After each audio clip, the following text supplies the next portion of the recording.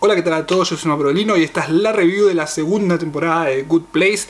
Va a estar llena de spoilers, así que si no vieron esta serie, vayan corriendo a ver esta maravilla porque realmente vale mucho, mucho la pena. Bueno, se terminó esta segunda temporada y luego del final de la primera habían que cambiar muchas cosas porque me daba muchísimo miedo que se tienda a transformarse en algo súper repetitivo porque debían sí o sí cambiar las reglas del juego y por suerte lo hicieron de manera espectacular. Michael Schur y su equipo de guionistas hicieron un trabajo espectacular al tomar la decisión que tomaron de tratar de hacer que Michael se pase al lado de los buenos y tratar de llevar a los idiotas a el buen lugar. Entonces este segundo año se centró más en Michael que en el resto de los protagonistas ya que ellos habían pasado por toda la transformación durante la primera temporada y en este año debían ayudarlo a él a transformarse en una persona básicamente. The Trollery Problem es uno de los episodios más graciosos del 2017 si no es el más gracioso. Ronda, Diana, Jake and Trent le pone la cereza al postre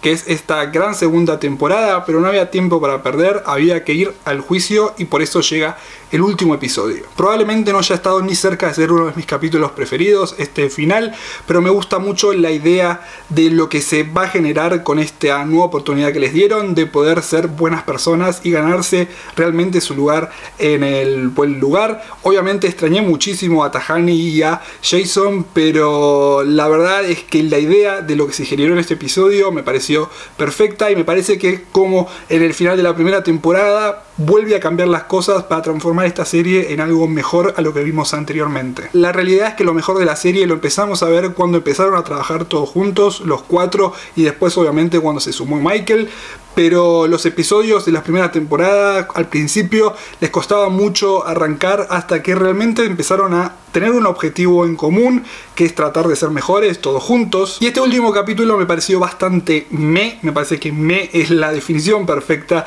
para este último episodio pero lo más importante, como dije antes, es todo lo que se genera, porque al final del capítulo Eleanor fue corriendo y encontró a Chidi gracias a este viaje a Sydney. Y la verdad es que me nacen un montón de preguntas, ya que supongo que la próxima temporada empezarán a cruzarse los caminos, no sé de qué manera, me imagino algo bastante lost en el aeropuerto con todos los personajes cruzándose en Australia.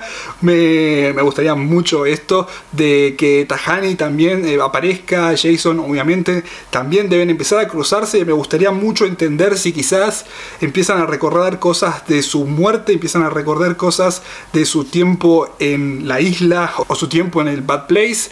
Y nada, me gustaría mucho ver cómo empiezan a evolucionar. Me gustaría mucho también que lleguen a la conclusión de que sí, ya se conocen, de que estuvieron muertos y que ahora tienen la oportunidad de ser mejores. Obviamente después vamos a empezar con un montón de teorías que se me están ocurriendo en estos momentos, que serían bastante locas.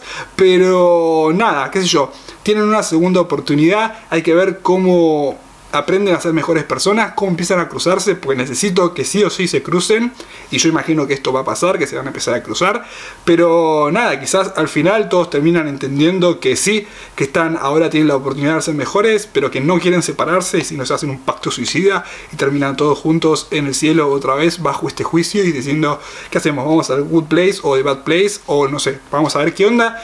Hay un montón de cosas nuevas que se pueden hacer en la próxima temporada y eso me llena como de mucho entusiasmo porque la verdad es que pueden salir con cualquier cosa y estoy como muy ansioso por eso. Bueno, si les gustó el video por favor compartan, denle like, suscríbanse. Me pueden comentar lo que quieran en los comentarios, me pueden seguir en mis redes sociales acá al costadito y me pueden comentar qué les pareció esta temporada de Good Place. Para mí es superior a la primera y nada, me parece que no hay ningún capítulo que baje de 8 puntos. Quizás el de Drake un poquito, pero es como que es medio pesado Drake. Pero nada, qué sé yo, me gustó muchísimo el capítulo. Así que nada, nos vemos la próxima en otro video. Chau, chau.